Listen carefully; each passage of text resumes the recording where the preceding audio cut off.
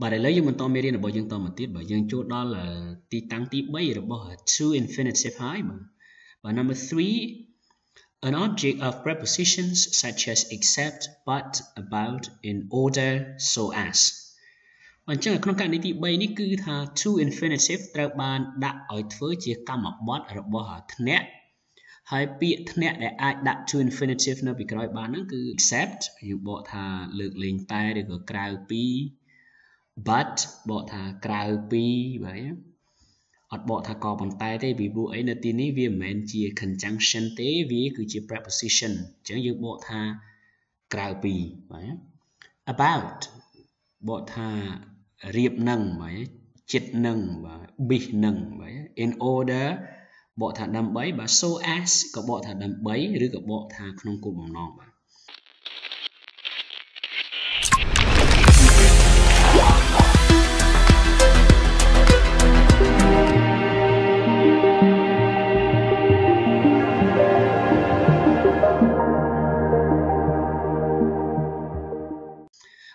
ទាហរណ៍បាទ We went to Japan to learn Japanese បាទ to learn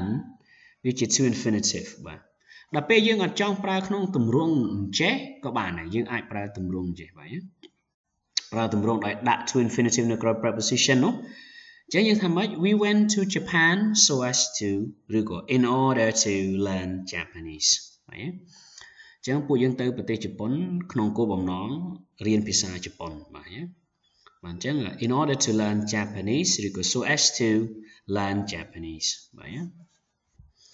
Right uh, she went to France not to learn English but to learn French បាទគាត់ទៅប្រទេសបារាំងមិនទៅដើម្បីរៀនភាសាអង់គ្លេសទេក៏ប៉ុន្តែទៅរៀនភាសាបារាំងអញ្ចឹងដូចគ្នានេះដែរយើងអាចសរសេរថា she went to France uh, in order not to learn English but in order to learn French បាទអញ្ចឹងកាលណាជាបដិសេធគឺយើងប្រើ in order not right ពីព្រោះអ្វីនេះគឺជាទម្រង់ negative to infinitive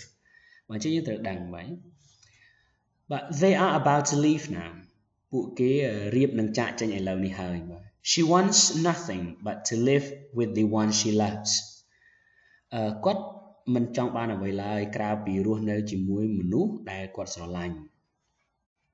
I desire nothing except to pass my exams ខ្ញុំគ្មានប្រាថ្នាអ្វីទេក្រៅតែពីសុំឲ្យជាប់ការប្រឡងរបស់ខ្ញុំទៅបានហើយ yeah she closed the door quietly គាត់បិទទ្វារយ៉ាងស្ងៀមស្ងាត់ in order not to ឬក៏ so as not to wake the baby បាទគាត់បិទទ្វារយ៉ាងស្ងៀមស្ងាត់ដើម្បីកុំឲ្យបាទ ធ្វើឲ្យទារកនឹងភ្ញាក់បាទអញ្ចឹងគឺគាត់មានបំណងមិនឲ្យទារកនឹងភ្ញាក់ឡើយ Please don't go out we about to have dinner now សូមកុំចេញទៅក្រៅអីពួកយើងរៀបនឹងឬក៏ចិត្តនឹងញ៉ាំអាហារពេលល្ងាចហើយ I need nothing from him but to apologize me ខ្ញុំគ្មានត្រូវការអ្វីពីគាត់ទេក្រៅពីឲ្យគាត់សុំទោសខ្ញុំណា បាទនេះគឺជាមុខងារទី3ដែល to infinitive អាចដាក់បាន គឺដាក់នៅក្រោយ preposition ដូចជាពាក្យថា except but about in order និង so as ចឹងឲ្យតែឃើញពាក្យទាំងនេះគឺយើងប្រើ to infinitive នៅពីក្រោយបានដើម្បីរៀបរាប់ពីគោលបំណងយើងចឹងទៅចូលដល់មុខងារទី4មើលគឺវាដើរតួធ្វើជា subjective complement to infinitive ខ្លាយទៅជា subjective complement គឺអ្នកបំពេញន័យឲ្យប្រធាន ខ្ញុំបានពន្យល់អ្នកទាំងអស់គ្នាឲ្យឃើញនៅក្នុងភាគមុនហើយថា subjective complement និង object នោះខុសគ្នាយ៉ាងម៉េចឥឡូវនេះយើងនិយាយអំពីថា to infinitive ដើរតួជា subjective complement We have to put to infinitive after linking verbs such as be, seem, appear, look, etc. អញ្ចឹងយើងត្រូវដាក់នៅក្រោយ linking verb ដូចជាពាក្យ be, seem, appear, look ជាដើមអញ្ចឹងទៅ But they are to be married soon ពួកគេនឹងត្រូវរៀបការក្នុងពេលឆាប់ឆាប់នេះបាទ to be married soon គឺជា to infinitive phrase មកបំពេញន័យឲ្យ they មិនមែនមកបំពេញន័យឲ្យ are ទេពីព្រោះពពួកពាក្យទាំងនេះជា linking verb ហើយ we are to go back now ពួកយើងត្រូវត្រឡប់ទៅវិញឥឡូវនេះហើយបាទ she looks to be strange today គាត់មើលទៅហាក់ដូចជាចម្លែកថ្ងៃនេះបាទ it seems to be impossible វាទំនងជាទៅមិនរួចទេបាទ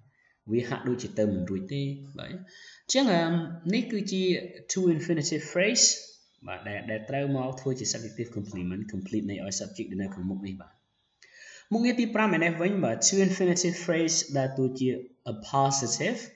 គឺយើងថាឧបបត្តិអាចជាឧបបត្តិរបស់ប្រធានឬក៏ឧបបត្តិរបស់កម្មបត្តិអញ្ចឹងបើជាឧបបត្តិរបស់ប្រធានយើងសរសេរប្រធានរួចមកយើងដាក់ comma មួយ រួចហើយយើងដាក់ to infinitive រួចហើយយើង comma មួយទៀត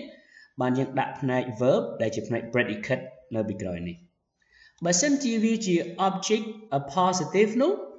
គឺយើងត្រូវមាន object រួចហើយយើងក្បៀសមួយមកយើងដាក់ comma មួយមករួចហើយបានយើងសរសេរ to infinitive ដើម្បីពង្រីកន័យឲ្យអាកម្មបត្តិហ្នឹងបាទនឹងហើយគេហៅថាឧបបត្តិ Alright your plan to grow cabbages sounds interesting ផែនការដាំស្ពៃក្តោបរបស់អ្នកស្ដាប់មើលទៅគួរឲ្យចាប់អារម្មណ៍មែន